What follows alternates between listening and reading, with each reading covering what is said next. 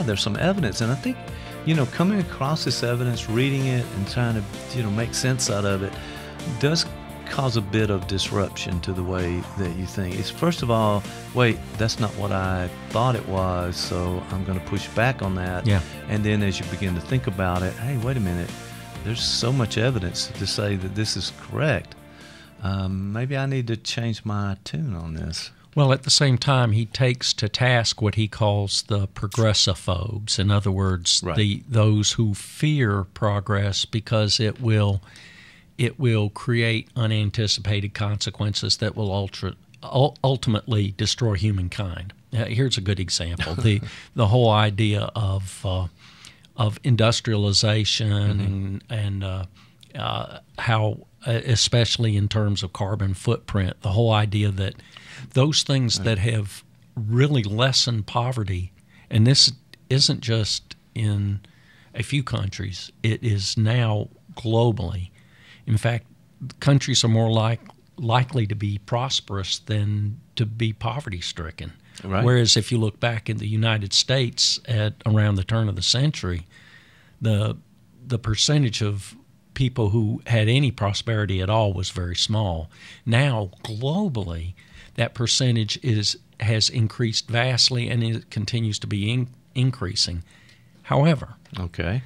at the same time, you have this issue with a tremendous carbon footprint, and that seems to be increasing and creating climate change and that kind of thing. And that's something that's that's an issue out there that that really needs to be given some thought and actually some action. So, but he but he says that the answers there are like very similar to the answers to uh, lack of longevity, which and that those answers lie in science and technology. In other words, the Enlightenment. Yeah, which um, evidently started uh, the first paper I think I read in one of the chapters. There was 1785, uh, the Yeah. the, the uh, topic about enlightenment in the 1700s. So, yeah, I think also there's just this um, this claim in the book about the a pushback. Uh, particularly in things like ideologies and political and even religion, that there's a there's a idea of belonging to a group and believing the the sort of the credos, the the different um, uh, guidelines that you should believe if you're in a particular group, and that keeps you from accepting some of the things about progress and so forth. So you may disagree with some because of the group that you're in.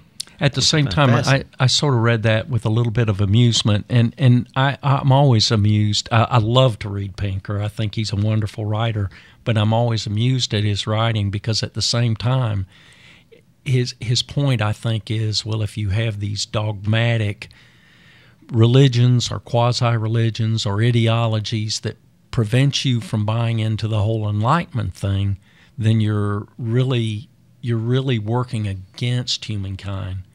And at the same time, I'm thinking, yeah, but uh, hey, bro, you have uh, your belief in science, technology, and the Enlightenment, and as I look at it, it sort of reads like I hate to say it, a religion. So, you know, there's an irony there. Be careful Although- where you point the finger. There may be more pointing back at you, as they say. Uh, but that's not to say that he that those points are are off base. But Right. but he he also has an ideological approach, and it's the the uh, the total belief in uh, the can do science will solve all issues. And boy, but he's got a lot of data to back it up. Yeah, I, found it interesting that um, it was about being rational a lot. Uh, Yeah. In several chapters, they talked about just rational thinking can help you through the problem. Yeah. What is your best option in this moment?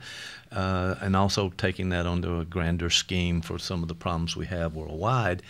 But yeah, you you can solve things in that way, and certain political beliefs may interfere with that. Yeah. So I mean, he made the early on. I think he he made the push for more education, better education.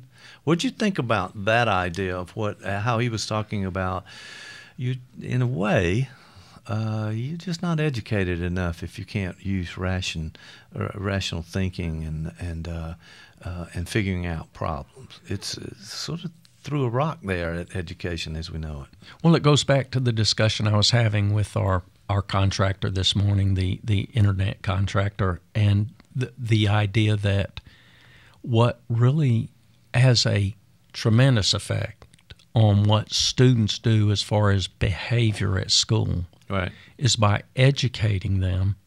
And the, the longer I was in it, the more I came to believe this. It, it's almost counterintuitive, but I really strongly believe that the more you showed students what an outcome would be from a behavior that wasn't desirable, the more a, a student would say, you know, I, I just think I, I need to do better. And you would see a a drop in say undesirable behaviors, fighting, sure. uh, disruption of class, that kind of thing. And there are other things that feed into that too, but just the fact that you sit down and discuss with with uh, a student what the outcomes of his or her behavior is going to be uh, has a an incalculable effect on that behavior.